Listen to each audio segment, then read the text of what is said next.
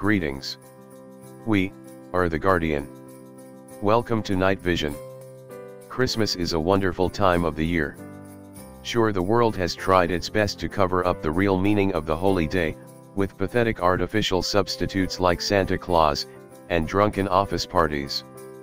But the believer can stay focused on the true meaning of Christmas by remembering one simple thing the empty tomb. It's easy to get distracted with the seasonal festivities, but the activities can serve as more of a deterrent than a blessing. Some people actually struggle with depression during the holidays.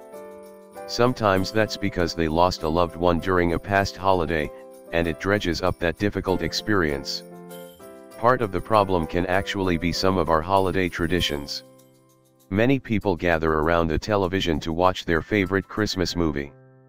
That might be Elf, or a Muppet Christmas Carol, or even Jimmy Stewart's, It's a Wonderful Life. But in comparison, your life might not be so wonderful right now.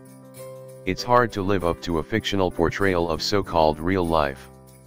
And the holidays can intensify that realization, by embracing unrealistic expectations. But sometimes even true believers can get a little down during the holidays. There's a reason for that, it's balance. Yes we can celebrate the holidays, but this world, is not our home. Like pilgrims, we are on a journey, and our time on earth is just a pit stop, we are just passing through. So yes we can celebrate the holy day of Christmas, by remembering the birth of Christ. But as a believer, we absolutely must couple that memory with the cross, and the empty tomb, the resurrection. In reality, that just gets you pointed in the right direction. The full timeline is, the birth, the death, the resurrection, the second coming, and the eternal reign of King Jesus. Now if you want to make it more personal, throw humanity into the mix. The full timeline then is, creation, the fall, the birth, the death, the resurrection, the second coming, and the eternal reign of King Jesus.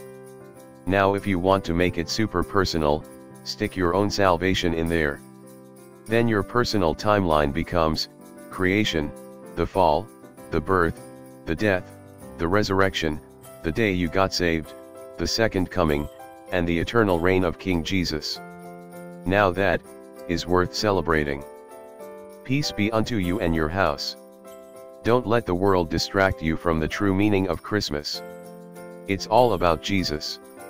Not just what he did in the past, but what he will do in the future.